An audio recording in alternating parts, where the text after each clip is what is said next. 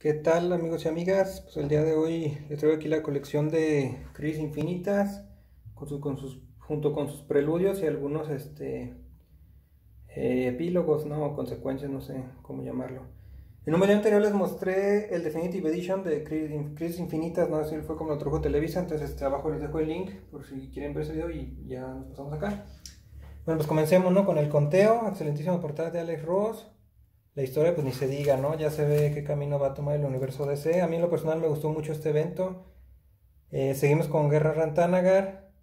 Fueron seis partes. Aquí está el número 1, número 2, número 3, número 4, número 5, número 6 y en un especial, así fue con todas las ediciones que salieron, lo que fue Guerra, Guerra Rantanagar, Días de Venganza, Villanos Unidos y Proyecto OMAC. Eh, algo también, bueno, si digan, pues aquí hice conteo, ¿no?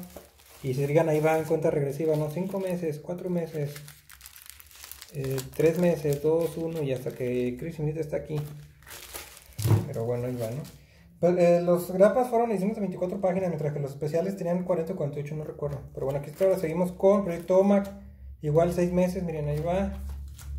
2 meses para Chris, digo, para 5 meses es el número 2. Número 3 de Proyecto OMAC. Número 4. Contesto el reloj de mano Número 5. Número 6. Y también tiene su especial. Escondida de venganza. Esta idea de venganza me gustó mucho. Cómo manejan aquí la magia en el universo DC. Tengo con número 1, el 2, el 3, 4, 5, 6, y también su especial. Ahora ponemos con Villanos Unidos. Igual el 1, 2, 3, 4, 5, el 6 y el especial que me gustó mucho. Y ahora sí ya las grapas de Crisis Infinita. Les digo, es lo mismo, bueno, aquí fueron 7 grapas, pero Televisa lo publicó en un Definitive Edition. Entonces empezamos con el 1, el 2, el 3, el 4, el 5, el 6, el 7 y tenemos el orígenes y archivos secretos. Para luego seguir con este, el despertar que es infinito en un mundo salvaje. Y este lo conseguí pues, aparte, ¿no? También fue 2 de 6, la batalla por Bloodhaven, o Bloodhaven, no sé cómo se pronuncia.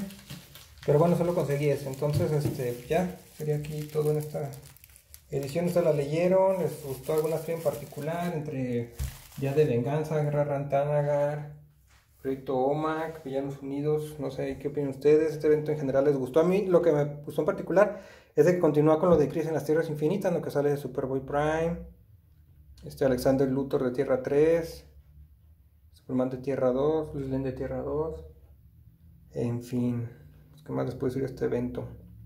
Nos vemos pues en el próximo video, que estén muy bien, bye.